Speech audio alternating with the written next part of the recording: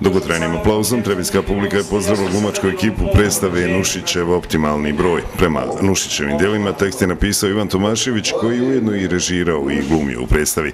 Zadovoljni su ostvarenom komunikacijom sa publikom. A s obzirom da je premijera, obično premijerske publike nisu baš tako ovaj, darežljive, a, ali mislim ne samo po aplauzu na kraju predstave, nego i tokom predstave.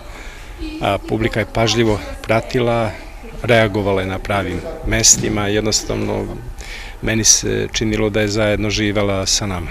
Tomašević u predstavi igra Branislava Nušića, lik koji je konstantno na sceni, ali dva druga glumca su imali takođe zahtjevne uloge. U više navrata moralo se preslačiti, igrati razne Nušićeve junake i održati ritam predstave. To su na kraju i uspjeli. Veliko je zadovoljstvo za glumca kad u jednoj predstavi može da se iskaže na nekoliko načina, da može da pokaže da može i ovo i ono.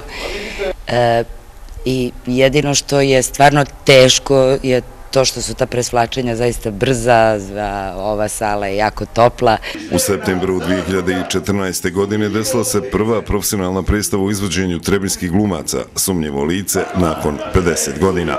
Ovo je druga i opet Nušić. Publika je definitivno žena dobrih komedija, što ove dvije predstave i jesu. Mislim da je ova predstava dokaz da možemo ići dalje da može pozorište u Trebinju da se e, razvija. Naravno, za sve treba vremena, za sve treba stvoriti neke pretpostavke, okolnosti i tako dalje, ali zaista vjerujem da Trebinje ima moć, ima snage, ima publiku, ima preduslove da zaista ima nešto što se zove pozorišna scena i redovnu profesionalnu pozorišnu produkciju. Nušićev optimalni broj nastavlja svoje igranje uskoro u Valjevu, a u drugoj polovini oktobra glumačka ekipa je u Šabačkom pozorištu, matičnoj kući Ivana Janite Tomaševića. Tomašević.